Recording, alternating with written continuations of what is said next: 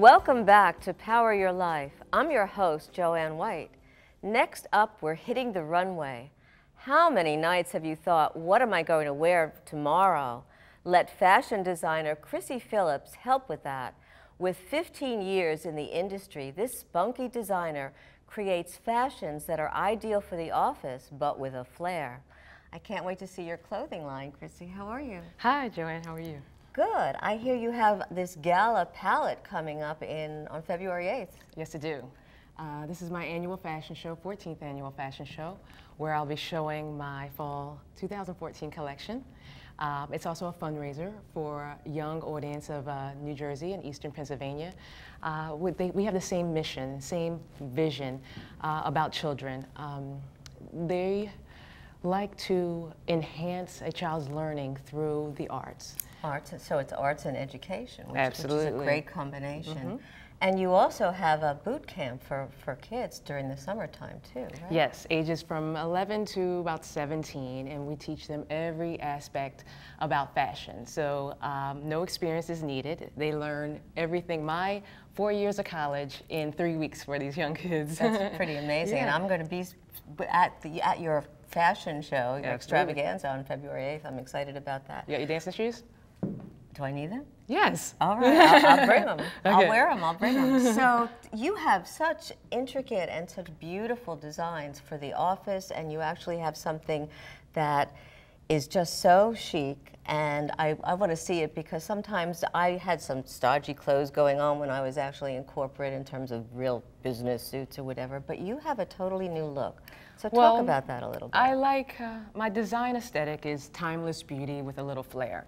So one of my uh, lines is executive chic. Well, I design executive chic, special occasion, and bridal. So um, my executive chic line is more um, business wear with a flair or a little edge to it.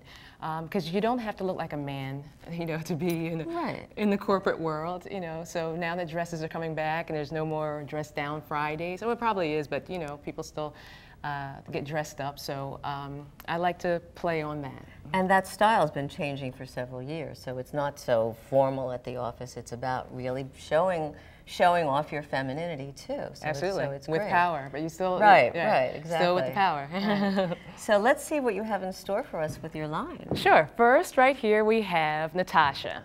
So this is part of the executive chic line. She's wearing a gray lace overlay with a deep maroon belt. We have a men's suiting for the bottom half, and we have a overlay um, flounce. Very beautiful. Mm -hmm.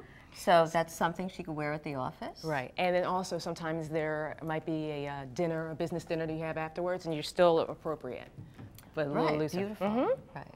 And she could actually add some different jewelry or whatever to dress it up, right? Right. Or dress it down, make it a little more formal. You can change it to a sequence belt. Um, you can also change the heels, um, change out the, your nude platform, and you can uh, put on like more of a sequins uh, or stiletto heel. so you know what it also does? It helps women save money too because if they can wear something both evening and, and daytime and just dress it up, it has a totally different look. That's I love great. transitional clothing. I love it. Great. Thank you, Natasha. Thank you. Okay. Next we have Kenyetta. One of the aspects of my business, ah. I create fabric. So I marbleize fabric. So this is Kenyetta. So we have um, aqua, aquamarine uh, print that I did, and um, I do it by hand. Um, and then I added just a little bit of uh, sequence to transition also, to give it a little more flair. So how do you get that marbleized look? It's a secret. Oh, okay. We're not giving away secrets. Okay, good. All right, don't tell us. No, actually, at my fashion show, at my fashion show, we have uh, a friend of mine makes paper and marbleizes paper. So he's coming and he's going to have my guests make scarves at the fashion show so you can see. Oh, that's lots of fun. Mm -hmm. Great, thanks. Thank you, Kenyetta. Mm -hmm. Next we have Janelle. Uh, this is my special occasion. Wow, beautiful. So this is this is simplistic, but uh, yet a little elegant. Uh, we have um, the flounce that goes cascades all the way down the front, the waterfalls down the front with a large bow, because I like a little bit of dramatic to, dram drama to the, um, my special occasion outfits, but still to be timeless. She can wear this for many years. I even wore it with a pair of denim jeans over top with a killer boot. Yeah. Amazing. Yeah.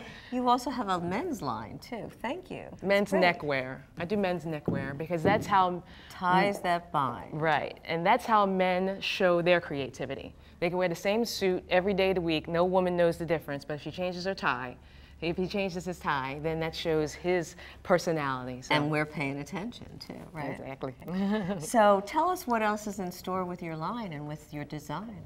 Well, you will see on February 8th my uh, Executive Chic Special Occasion in Bridal.